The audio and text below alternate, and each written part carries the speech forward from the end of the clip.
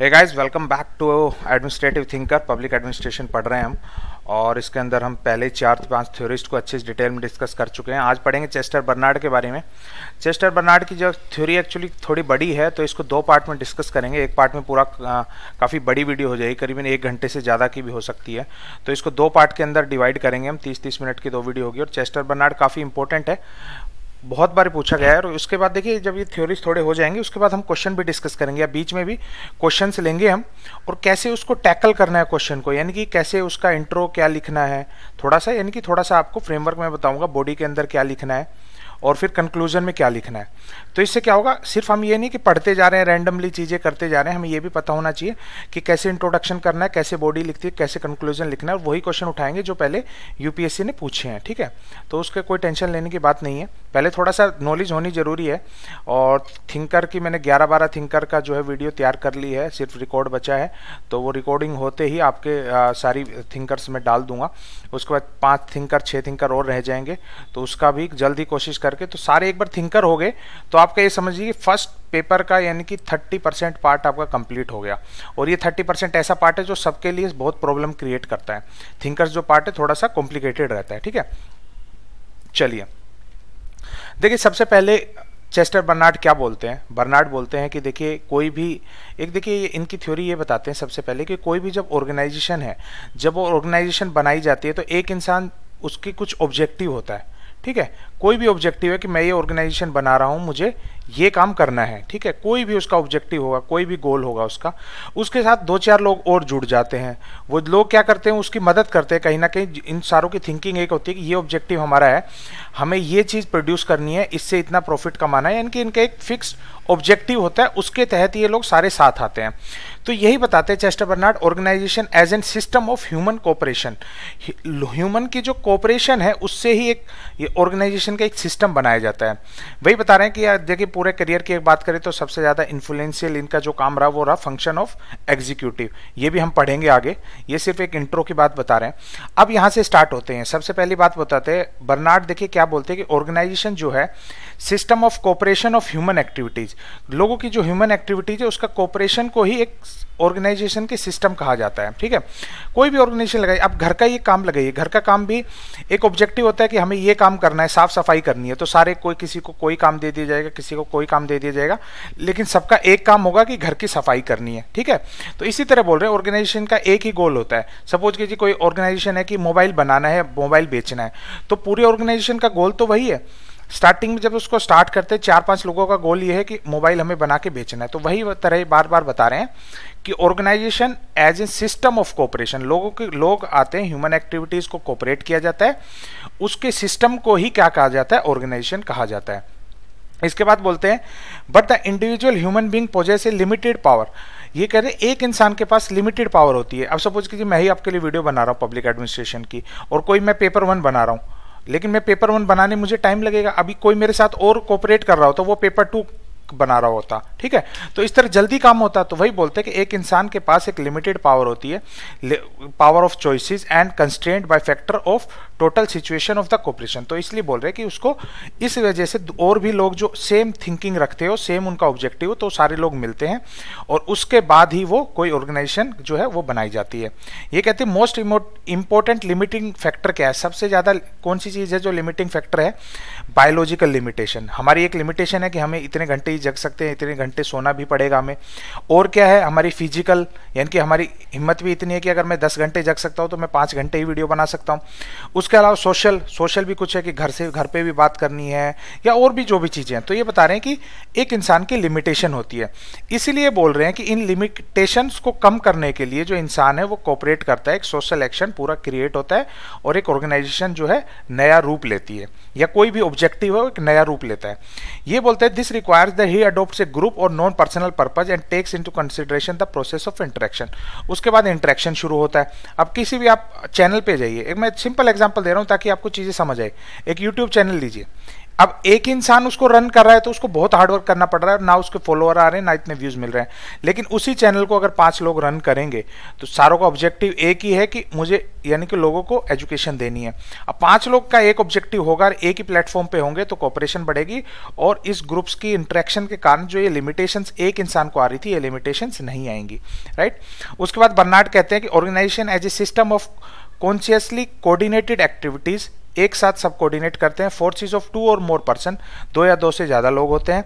In this emphasis in this definition he emphasize the system of interaction तो इसमें बोल रहे हैं कि सिस्टम ऑफ़ इंटरेक्शन से ही सिस्टम ऑफ़ कोऑपरेशन बनता है और उससे एक ऑर्गेनाइजेशन की फॉर्मेशन होती है, ठीक है? सारा वही चीज़ बताना चाह रहे हैं। इसके बाद बोलते हैं it is a system compose of activity of वही बात है ह्यूमन की जो एक्टिविटीज़ है डिफरेंट डिफरेंट उनको इंटरेक्ट किया जाता है, वो इंटरेक्ट करते हैं कम्युनिकेट करते हैं। वही बात बोलते हैं by ability of such people to communicate with each other उसकी विलिंगनेस होती है सबकी, एक कॉमन पर्पज होता है कॉमन गोल होता है कम्युनिकेट करते हैं, साथ में आते हैं और फिर उस ऑर्गेनाइजेशन को आगे बढ़ाते हैं।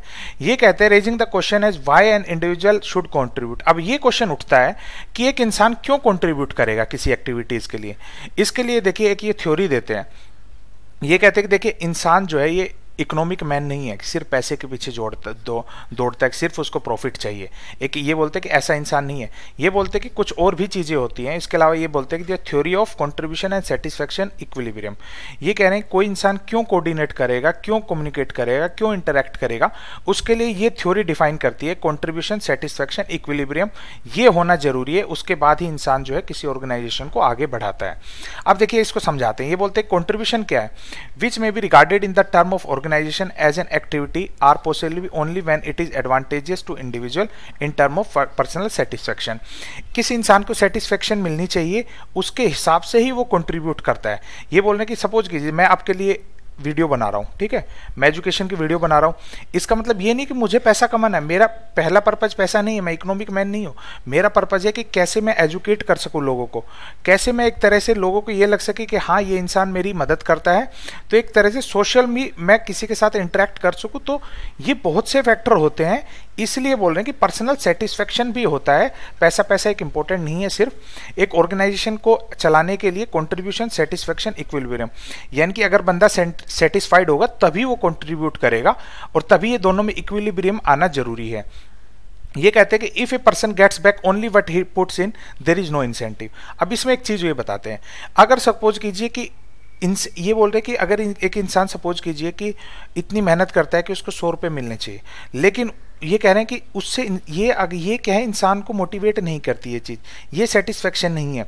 उसको क्या चाहिए? अगर वो सौ रुपये का काम कर रहा है तो उसको एक सौ बीस रुपये मिले। सिर्फ़ मैं पैसे के टर्म में अभी बता रहा हूँ आपको। तो ये उसके लिए इंसेंटिव ये कह रहे हैं कि जब तक इंसेंटिव नहीं मिलता, इंसान सेटिस्फाई नहीं होता। तो उसको अगर इंसेंटिव मिलते सपोज़ कीजिए मैंने पूरे साल काम किया, अब दिवाली आने लगी तो मैं किसी के लिए वीडियो बना रहा तो उसको लगे कि हाँ यार, दिवाली पे कुछ गिफ्ट देना चाहिए। जैसे कंपनी है ऑर्गेनाइजेशन किसी को दिवाली पे अलग गिफ्ट बोनस देती है, ठीक है? या फिर और कोई ओकेजन होता है तो अलग गिफ्ट देती है। तो ये कह रहे हैं कि ये चीज़ सेटिस्फेक्शन लाते हैं। तो ये बोले कि सिर्फ़ इंसान उतना ही जितना वो सौ रुपये का काम किया, उसको सौ रुपये मिल गए, ना कोई सोशल इंटरेक्शन है, ना कोई उसको प्रेज किया जा रहा है उसकी प्रशंसा की जा रही है, ना उसको कुछ ऐसा यानी कि मोटिवेशन के लिए कुछ इंसेंटिव दिया जा रहा है तो बता रहे हैं कि इंसान सेटिस्फाई नहीं होता और उस केस में वो सेटिस्फाइड ना होने के कारण कंट्रीब्यूट भी कम करना स्टार्ट कर देता है। ये कहते हैं when he gets back must give him advantage in term of satisfaction which almost always means return in the different form what he contribute तो जो वो कॉन्ट्रीब्यूट करता है, उसकी दूसरी फॉर्म में डिफरेंट फॉर्म में जब उसको रिटर्न मिलता है, तब वो लगता है कि हाँ वो सेटिस्फाई हो गया, उसके लिए एडवांटेजियस है और उसको कॉन्ट्रीब्यूट करना चाहिए। इसके अलावा देखिए अलग अलग इंड्यूसमेंट बताते हैं क्या क्या चीज़ें इंसान को इंसेंटिव मिलने चाहिए या मिलते हैं तो इंसान जो है मोटिवेट होता है। ये कहते हैं कि देखिए, बर्नार्ड ने रिजेक्ट कर दिया, जो पहले एक व्यू पॉइंट होता था कि इंसान सिर्फ़ इकोनॉमिक इंसेंटिव की तरफ़ बढ़ता है, यानी कि उसको पैसे ही मैटर करता है उसके लिए। बोलते, बर्नार्ड बोलता है, ऐसा नहीं है। ऑर्गेनाइजेशन में आप पचास रुपए का काम करें ऑर्गेनाइजेशन आपको पचास हज़ार रुपए देगी तो भी आप ऐसा हो सकता है कि मोटिवेट ना हो। तो ये बता रहे हैं कि अलग अलग तरह की, देखिए, आठ तरीके के जो इंसेंटिव्स होते हैं इंड्यूसमेंट्स होती हैं, वो इंसान को रिक्वायरमेंट होती है उनकी। ये बताते कौन कौन सी। सबसे पहले कहते हैं स्पेसिफिक इंड्यूसमेंट कैसे? मेटीरियल इंड्यूसमेंट में आ गया पैसा या कोई गिफ्ट मिल गया या फ़िज़िकल कंडीशन आपको अच्छा एनवायरनमेंट मिला, उसके बाद personal and non material opportunity जैसे आपको प्रेस्टीज मिल गई पर्सनल पावर आपको दे दी गई, कुछ डिस्टिंक्शन आपको दे दिया गया, या डिजायरेबल फ़िज़िकल कंडीशन काम की जगह पे अच्छा यानी कि एनवायरनमेंट दिया गया आइडियल बेनिफेक्शंस, यानी कि क्या हुआ वर्कमैनशिप आपको थोड़ा प्राइड वगैरह मिल रही है आपको कोई चीज़ करने में एडिक्वेसी आपको दी गई एल्ट्रोइस्ट सर्विस आपको मिली फॉर फैमिली एंड अदर्स ठीक है? यानी कि आपके लिए, घर के लिए कुछ ऐसा दे दिया कि कोई ऐसी चीज़ दे दी कि आप, जैसे जिम के पास दे दिए कि आपके सभी फैमिली मेंबर जिम में आ सकते हैं कंपनी की तरफ़ से ये फैसिलिटी है। तो इस तरह के कुछ एल्ट्रोइस्ट सर्विसेज़ वगैरह दे दी। तो ये बोल रहे हैं कि इस तरह की चीज़ें हैं, ये बोलते स्पेसिफिक इंड्यूसमेंट इनको बोलते हैं। इसके बाद होती है कुछ जर्नल इंसेंटिव्स वो भी रिक्वायर्ड होते हैं इंसान को मोटिवेट करने में सेटिस्फाइड होने में। ये कहते हैं जैसे एसोसिएशनल अट्रैक्टिवनेस जैसे कि आपके स्टाफ के साथ कैसी कंपेटेबिलिटी बनती है, आप कैसे उस चीज़ को मैनेज करें कि आपका सारा स्टाफ जो है हंस खेल के काम करे। इसके लिए देखिए, आपको पता है काफ़ी बार जो कंपनीज़ होती हैं छोटे छोटे गेम्स ऑर्गेनाइज करती हैं, कुछ ऐसा जैसे छोटे छोटे सारे उसको बोलेंगे आप डिफरेंट मेला लगाने के लिए उससे एसोसिएशन बढ़ती है, कुछ पार्टीज़ वगैरह देते हैं बॉस वगैरह पार्टी देगा कि आप आइए एसोसिएट हुई है ग्रुप के साथ। तो बोले, कुछ लोगों को ये चीज़ बहुत अच्छी लगती है। कुछ लोगों को लगता है वर्क कंडीशन हैबिचुअल मेथड होते हैं। किसी को सपोज़ कीजिए नौ बजे उठ के काम करना पसंद है, किसी को कहे कि नहीं, मैं बारह बजे उठ के ही काम करता हूँ। तो इन दोनों को इस तरह की फैसिलिटी दी जाए, जो नौ बजे उठना चाहते हैं, आप आइए, नौ बजे काम कीजिए। या फिर आप तीन घंटे घर से काम कीजिए, जैसे प्राइवेट में होता है work from home work from home का कंडीशन है। तो इस तरह की चीज़ें भी बहुत लोगों को अट्रैक्ट करती है वर्किंग कंडीशन तो ये कुछ लोगों को ये इंसेंटिव अच्छे लगते हैं। किसी को ये ऊपर वाले स्पेसिफिक इंसेंटिव अच्छे लगते हैं। कुछ कह रहे हैं, कुछ को opportunity for feeling engage participation in the course of event आप कुछ इवेंट हो रहा है, बड़ा इवेंट हो रहा है कंपनी का तो आपको उसको पार्टिसिपेट करने का मौका मिले कि आप आइए, यहाँ पे डांस कीजिए या कोई भी परफॉर्मेंस दीजिए। कुछ लोग इस चीज़ की अपॉर्चुनिटी जो है इंसेंटिव से अच्छा लगता है उनको। कुछ लोगों को कम्युनिकेशन की कंडीशन अच्छी लगती है। कुछ लोगों को लगता है, मैं डायरेक्ट बॉस से बात कर सकता हूँ, ऐसी कंडीशन होनी चाहिए, मैं अपनी प्रॉब्लम बता सकूँ। कुछ लोगों को लगता है, नहीं, ऐसा नहीं होना चाहिए। तो सबकी अलग रिक्वायरमेंट होती है। तो इन्होंने आठ चीज़ों में डिवाइड किया है, जो इंसान को मोटिवेट करती हैं चीज़ें स्पेसिफिक इंडोसमेंट और जर्नल इंसेंटिव ठीक है? ये दोनों चीज़ें ये बताते हैं कि इंपॉर्टेंट है और सिर्फ़ इंसान इकोनॉमिक मैन नहीं है इकोनॉमिक एक्टिव इंसेंटिव ही उसके लिए सिर्फ़ काम नहीं देते हैं दोनों चीज़ें उसको चाहिए होती है। इसके बाद बोलते हैं Barnard maintains the economic reward are ineffective beyond the subsistence level अब खाना आपको दे दिया गया। ठीक है? आपके पास इतना पैसा मिल गया आपको कि खाना मिल गया। अभी कंपनी कह रही है कि नहीं, आप आके यहाँ पे भी खाइए। आपको छः बार खाना दे रही है कंपनी तो उसकी वैल्यू होगी? नहीं होगी। ये बता रहे हैं कि जो इकोनॉमिक रिवॉर्ड होता है, या पैसा हो गया, कोई भी चीज़, ये इनफेक्टिव होते हैं। एक एक सीमा तक ही इफ़ेक्टिव होते हैं कि आपको बस वहाँ तक। उसके बाद आपको और चीज़ें चाहिए, आपको मोटिवेट करने के लिए। तो ये बोल रहे हैं कि एक, सिर्फ़ सब्सिस्टेंस लेवल के बाद ये जो इकोनॉमिक रिवॉर्ड है इनफेक्टिव हो जाते हैं। ये कह रहे हैं inducement cannot be applied mechanically और ये बोल रहे हैं इंड्यूसमेंट जो है मैकेनिकली अप्लाइड नहीं करनी चाहिए। कि सबको पैसा दे दिया, दस हज़ार रुपये सबको बोनस दे दिया। किसी को पैसा पसंद है, किसी को कुछ और चीज़ पसंद है तो हर इंसान को उसकी डिमांड और उसकी सिचुएशन उसकी पर्टिकुलर उसको क्या, किस चीज़ की नीड है, उस हिसाब से उसको इंड्यूसमेंट दी जाएगी। According to his situation time और इंडिविजुअल उस चीज़ों से वो ज़्यादा खुश होगा सेटिस्फाइड होगा रादर देन मैकेनिकली सबको एक चीज़ ही दे दी जाए। ये कह रहे हैं कि जो इंड्यूसमेंट का ये मेथड है, ये पूरा डायनेमिक प्रोसेस है। इसमें एक्सपीरियंस होना चाहिए और इमेजिनेशन होना चाहिए। यानी कि पता होना चाहिए आपके सीनियर मोस्ट को कि आपको किस चीज़ की रिक्वायरमेंट है। आप किस चीज़ से अभी खुश होने वाले हो? आपको किस चीज़ का दुख हो रहा है, जिसको आप खत्म करना है तो क्या इंड्यूसमेंट आपको दी जाए तो ये बोल रहे हैं कि इसके लिए बहुत एक्सपीरियंस चाहिए और डायनेमिक प्रोसेस है। अब नेक्स्ट चीज़ डिफाइन करते हैं बर्नार्ड फॉर्मल और इनफॉर्मल ऑर्गेनाइजेशन के बारे में। ये कहते हैं कि देखिए, formal organization as we see earlier is a system of consciously coordinated activity जैसे हमने पहले देखा, फॉर्मल ऑर्गेनाइजेशन क्या है? कुछ लोग आते हैं, एक ऑब्जेक्टिव होता है, सारे लोग काम करते हैं कि हाँ मुझे एजुकेशन देनी है या मुझे कोई भी सिस्टम करना है। ये सारे लोग आए कोऑर्डिनेट हुआ तो इसको बोलते हैं फॉर्मल ऑर्गेनाइजेशन इसमें क्या होता है they are the people are able to communicate एक दूसरे से कम्युनिकेट कर पाते हैं। वो are willing to contribute action कुछ कॉन्ट्रीब्यूट करेंगे कुछ एक्शन के लिए या एक कॉमन पर्पज होगा उसको पूरा करेंगे। कंपनी में आया काम किया ये फॉर्मल ऑर्गेनाइजेशन हो गया। ये बोल रहे हैं communication willingness to serve the common purpose of three elements in a formal organization ये तीन एलिमेंट्स होते हैं जिससे फॉर्मल जो आ, uh, कोई भी ऑर्गेनाइजेशन में फॉर्मल फॉर्मल ऑर्गेनाइजेशन का मतलब क्या है? इनफॉर्मल आप कोई भी काम नहीं कर रहे सिर्फ़ फॉर्मली आप जो है जो आपको काम दिया गया जो टास्क दिया गया उसको कह रहे हैं वो काम किया। तो ये बोल रहे हैं there can be no organization without person अब इंसान तो इंसान है, वो सिर्फ़ फॉर्मल मशीन की तरह काम नहीं कर सकता। जो पहले देखिए फ्यूल ने, ठीक है फ्यूल अभी पढ़ेंगे हम। फ्यूल वगैरह ने या उर्विक और उर्विक वगैरह ने इस तरह के चीज़ें बोली कि प्रिंसिपल्स बना दिए गए, ठीक है, इस प्रिंसिपल पे काम होता है। तो ये बोल रहे कि ऐसे सिर्फ़ फॉर्मल ऑर्गेनाइजेशन से काम नहीं चलता, कि फॉर्मल ऑर्गेनाइजेशन क्या है? मशीन नहीं है इंसान। इंसान जो है, उसके अंदर फीलिंग्स भी हैं, वो अलग तरीके से उसकी, बहुत चीज़ें उसको और चाहिए जिससे वो अच्छा जो उसका गोल है, वो अच्छे गोल की तरफ़ बढ़ सके। ठीक है? तो वही चीज़ है फॉर्मल ऑर्गेनाइजेशन इनफॉर्मल फॉर्मल में क्या हो गया? इंसान आया, काम किया, चला गया। अपना कम्युनिकेट भी किया तो सिर्फ़ काम से रिगार्डिंग कोई भी किसी से इंटरेक्ट किया तो काम से रिगार्डिंग वो होता है फॉर्मल ये बोलता है more than person their service or act should be treated as a constituting an organization तो ये बोल रहे हैं ऑर्गेनाइजेशन सिर्फ़ फॉर्मल तरीके से नहीं चलती। जो इंसान की जो सर्विसेज़ और एक्ट है, उनको अलग तरीके से देखना चाहिए। जैसे willingness can be express in अब कोई कोई विलिंग है, कोई कंपनी में बहुत अच्छा काम करना चाहता है, हो सकता है कोई लॉयल हो कोई सॉलिडेरिटी को देखता हो, कोई स्ट्रेंथ को ऑर्गेनाइजेशन की स्ट्रेंथ को देखते हुए अच्छा काम करता हो तो बोलते हैं सबका एक अलग एक्शन होता है, अलग एक इनफॉर्मल इनफॉर्मल भी एक ऑर्गेनाइजेशन होती है, सिर्फ़ फॉर्मल पे काम नहीं चलता। ये बोलते हैं it implies surrender of a person conduct and depersonalization of personal action अगर हम ये चीज़ें हम सिर्फ़ देखें कि फॉर्मल ऑर्गेनाइजेशन है, इसका मतलब तो इंसान की जो पर्सनल फीलिंग है, यानी कि वो सिर्फ़ उसको काम से काम मतलब है, किसी और चीज़ से मतलब नहीं पर्सनल एक्शन जो है, वो डीपर्सनलाइज हो गए। वो अपनी किसी से शेयर नहीं करता है, कोई बात, सिर्फ़ काम से रिगार्डिंग वो बात करते हैं। तो ये बोलते हैं, ये होती है फॉर्मल ऑर्गेनाइजेशन जिसका सिर्फ़ एक मोटिव होता है। ये कहते हैं willingness positive negative in term of net is net satisfaction or dissatisfaction experienced by each individual ये कहते हैं, उसके बाद ये कहते हैं cooperation there must all be an objective or purpose cooperation के लिए बोलते हैं कि एक ऑब्जेक्टिव होना चाहिए पर्पज होना चाहिए unless a purpose is accepted by all those who are who affects efforts constitute the organization it will not stimulate cooperative action ठीक है? वही बात बोल रहे हैं कि आगे एक पर्पज होना चाहिए ऑर्गेनाइजेशन का, सभी लोग उस पर्पज की तरफ़ आगे बढ़े तो इसको बोलते हैं formal organization it may be useful to distinguish between cooperative and subjective aspect अब ये बोल रहे हैं कोऑपरेटिव आस्पेक्ट कौन से होते हैं? सब्जेक्टिव आस्पेक्ट कौन से होते हैं? अगर इसको हम डिफ्रेंशिएट करें तो ऑब्जेक्टिव पर्पज के लिए बोलते हैं कि जो कोई भी कम्युनिकेट करना किसी के साथ भी it believe to by contributor to be determined person of the organization objective purpose क्या होगा? कोऑपरेट करना।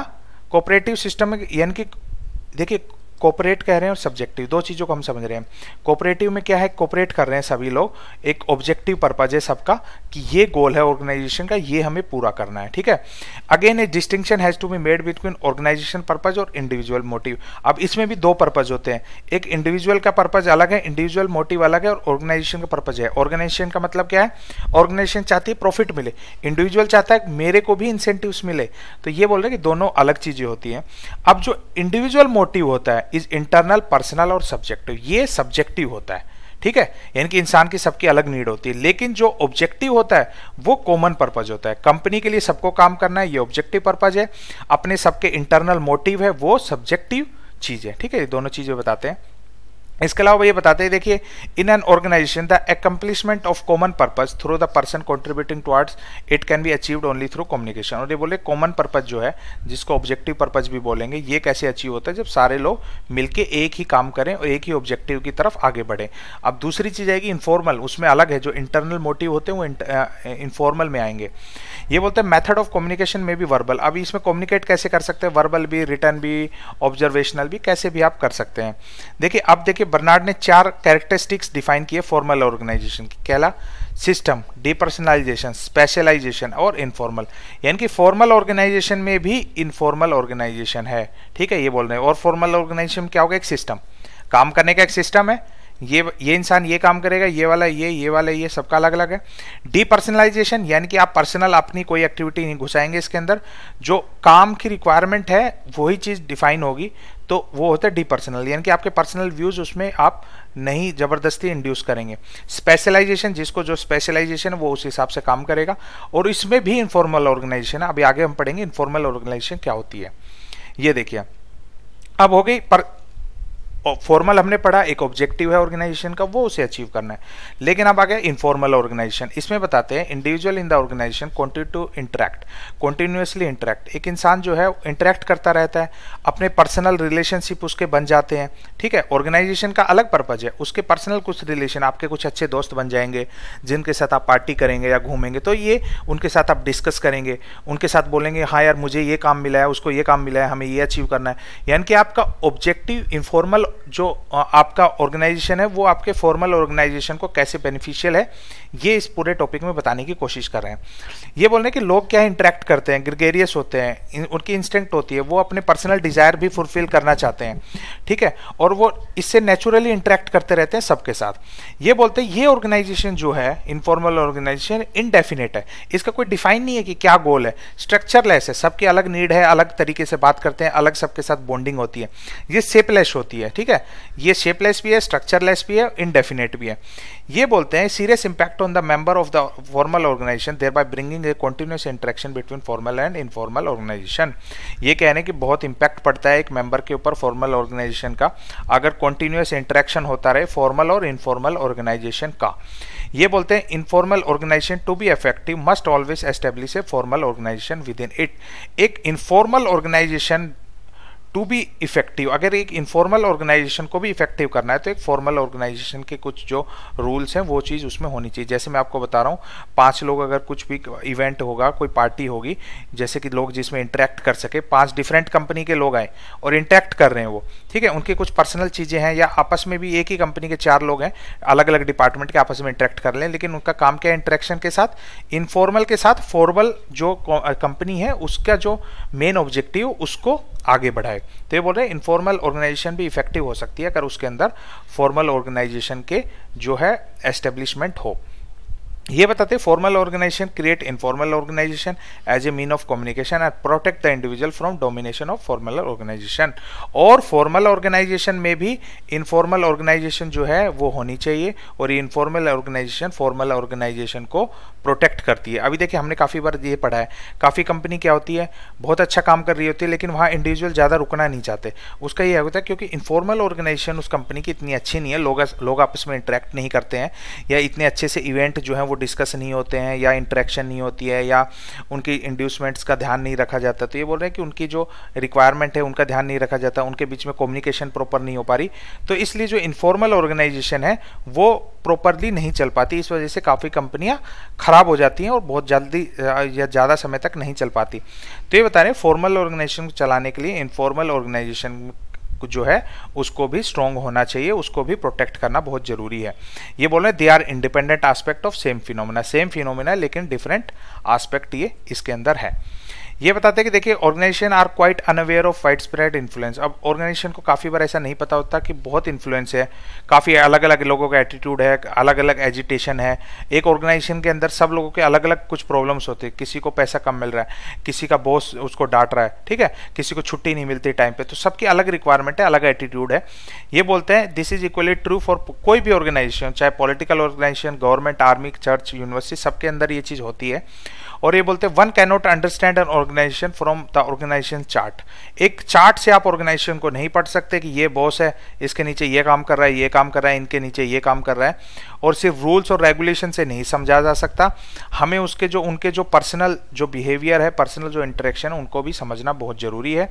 तो इसलिए बोलते हैं important it is important to learn an organisation ropes ये समझना बहुत ज़रूरी है एक ऑर्गेनाइजेशन के लिए कि वूज वॉट कौन क्या है और वट्स वट और क्या क्या है और वाइज वाई यानी कि क्यों क्यों है ये चीज़? जो इनफॉर्मल जो भी इनफॉर्मल सोसाइटी के अंदर या इनफॉर्मल ऑर्गेनाइजेशन चीज़ें हो रही है तो किसकी क्या रिक्वायरमेंट है, कौन क्या चाहता है, किसके अंदर क्या क्या फीलिंग्स है, ये चीज़ें भी थोड़ी बहुत समझनी बहुत ज़रूरी है। ये बोलते हैं personal integrity self respect and independent choice are the function of informal organisation अभी फॉर्मल में हमने पढ़ा था अलग अलग चीज़ें थी और इनफॉर्मल ऑर्गेनाइजेशन में क्या क्या चीज़ें पर्सनल इंटीग्रिटी सेल्फ रेस्पेक्ट अब कहीं पे ऐसा है कि बॉस रोज डांट रहा है, इंसान को वो चीज़ पसंद नहीं आएगी, चाहे उसको सैलरी वो दस गुना ज़्यादा दे रहे हो। रेस्पेक्ट भी ज़रूरी है। इंडिपेंडेंस चॉइसेस कहाँ पे काफ़ी बार ये इंसान चाहता है कि मैं जो चीज़ें बता रहा हूँ, उसको सुना जाए और उसके ऊपर एक्ट किया जाए, चाहे मैं जूनियर हूँ। तो ये बोल रहे ये चॉइसेस जब मिलती है तो इनफॉर्मल ऑर्गेनाइजेशन है, वो स्ट्रांग होती है और इनफॉर्मल स्ट्रांग होगी तो फॉर्मल ऑटोमेटिकली स्ट्रांग होगी।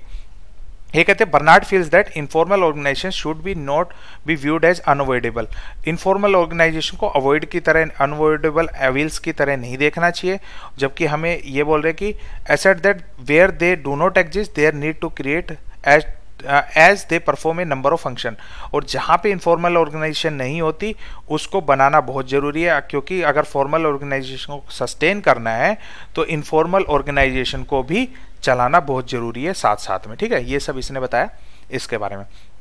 सेकंड पढ़ते हैं हम थ्योरी ऑफ़ अथॉरिटी अब इसके ऊपर ये क्या कहते हैं? ये बोलते हैं he did not agree with the traditional concept of authority इन्होंने ट्रेडिशनल व्यूज़ अथॉरिटी का मना कर दिया। इन, इन्होंने ये कहा acceptance are the basis of authority इन्होंने ये कहा कि अगर ये बॉस है, अगर इसकी बात, इसने दस लोगों को कोई बात कही और दस के मतलब पाँच या छः या दस के दस ने वो बात नहीं मानी तो ये कोई अथॉरिटी नहीं है कि इसने ये जो अथॉरिटी इसके पास थी कि इसने सबको ये बात बोली, ये काम करो। अथॉरिटी जब होगी, जब ये इंसान जिसको ये बात बोली है, ये मानेगा। तो अथॉरिटी जो है, ये जूनियर के पास होती है सीनियर के पास नहीं होती। इन्होंने ऐसा बोला कि अगर ये इनकी एक्सेप्टेंस होगी तो ही इनका अथॉरिटी मानी जाएगी अदरवाइज़ इनके पास कोई अथॉरिटी नहीं है। ये मान लिया जाएगा।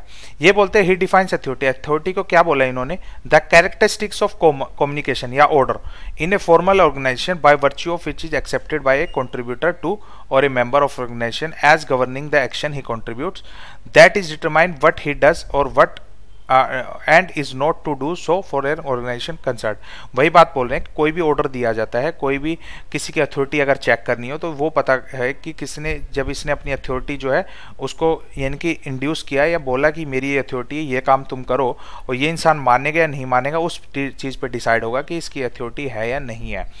ये बोलते हैं कि ये जो चीज़ें बहुत सब्जेक्टिव और ऑब्जेक्टिव आस्पेक्ट है इसके अंदर।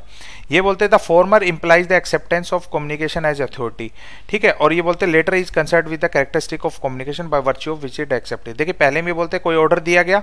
क्या ऑर्डर दिया गया? Formal organisation by virtue of what is accepted by contributor और टू ए मेंबर ऑफ़ जो एक्सेप्ट कर लिया गया और क्या एक्सेप्ट नहीं किया गया। तो इन चीज़ों पर डिसाइड होता है दोनों की सब्जेक्टिव और ऑब्जेक्टिव आस्पेक्ट क्या है।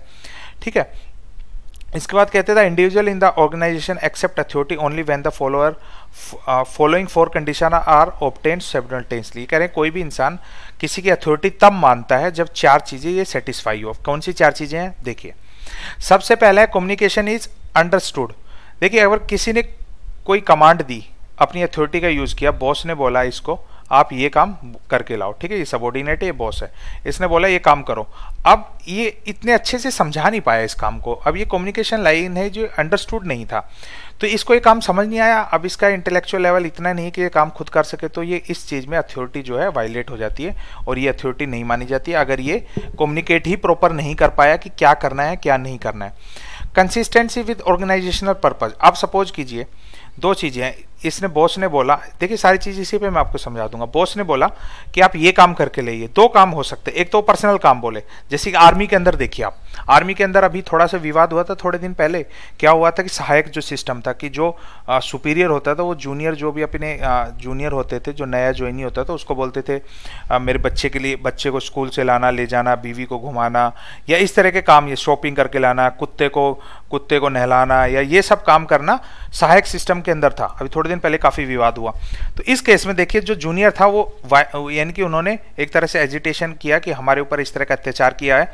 हम तो यहाँ देश की सेवा करने आए हैं। हम यहाँ सीमा पर दुश्मन से लड़ने के लिए खड़े हैं। लेकिन हमें अगर इस तरह का काम के लिए एक सर्वेंट बना दिया जाएगा तो हम ये चीज़ नहीं मानेंगे। तो कहीं ना कहीं अथॉरिटी वायलेट होगी। तो इस केस में बोल रहे हैं ऑर्गेनाइजेशन का पर्पज को फॉलो करना चाहिए। अब जो आर्मी में आया, वो देश के लिए लड़ने आया देश के लिए वो काम करने आया। अब उसको अगर आप पर्सनल नौकर बना लेंगे तो वो काम नहीं करेगा। तो वही बात बोल रहे हैं कि अगर ऑर्गेनाइजेशन पर्पज से कोई काम नहीं होगा तो हो सकता है कि इसकी अथॉरिटी डिनाई कर दी जाए और इसका जो है, इसके जो इसने जो डायरेक्शन दिया कमांड दी, उसको ना माना जाए। तीसरी चीज़ है कंपेटेबल विद पर्सनल इंटरेस्ट अब इसका इंटरेस्ट भी होना चाहिए। थर्ड ये बोल रहे हैं कि इसका भी इंटरेस्ट होना चाहिए। किसी इंसान को सपोज़ कीजिए कि नहीं है कोई काम बाहर का, यानी कि कोई ऐसा काम कि वो ऑफ़िस जॉब के बाद वो काम वो पसंद करे। लेकिन कुछ को लगता है कि नहीं यार, मैं और ज़्यादा बैठ के काम कर लेता हूँ। तो इंटरेस्ट जो अब तक नहीं है उस चीज़ को, वो काम नहीं देना चाहिए। दूसरा, किसी को सपोज़ करिए सॉफ्टवेयर पर काम करना पसंद है। किसी को फ़ील्ड वर्क काम करना पसंद है। किसी को डेस्क वर्क काम करना पसंद है।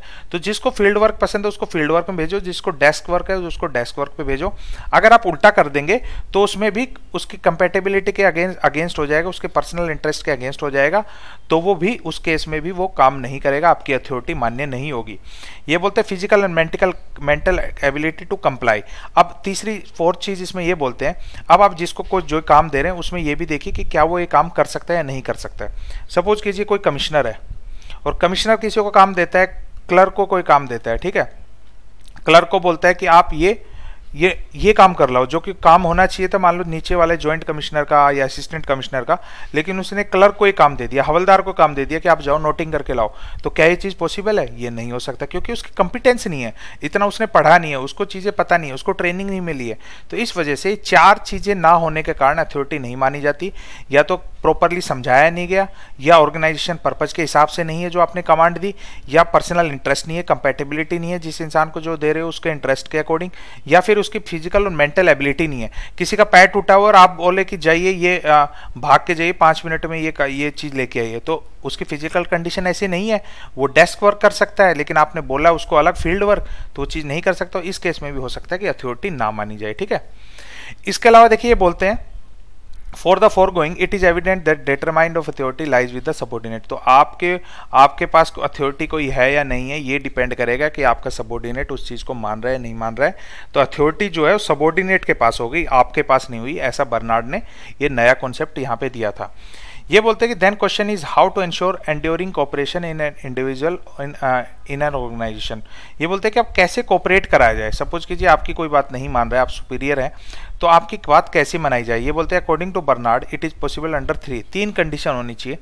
जिसमें ये पॉसिबिलिटी है। पहले तो चार कंडीशन है कि क्या चेंज हो सकती है, जिससे आपका काम नया किया जाए, आपकी अथॉरिटी ना मानी जाए, ठीक है? अब ये बोल रहे हैं कौन सी तीन कंडीशन है जो सेटिस्फाई होनी चाहिए, तभी ये चीज़ डिफाइन करेगी कि आपकी अथॉरिटी जो है, आपके कोपरेट लोग कोऑपरेट कर रहे हैं, आपकी बात मान रहे हैं। सबसे पहले when the interest issue when the order issued in an organisation are according with the four condition about discuss तो पहले जो डिस्कस किए, पहले तो उन चार कंडीशन में होना चाहिए कि क्या होना चाहिए कि पहले आप चीज़ें समझ आनी चाहिए, आपके पर्सनल इंटरेस्ट में भी होनी चाहिए, आपकी कंपिटेंस भी होना चाहिए। तो ये चार चीज़ें जब आपकी होगी, तभी आप मानेंगे पहली बात।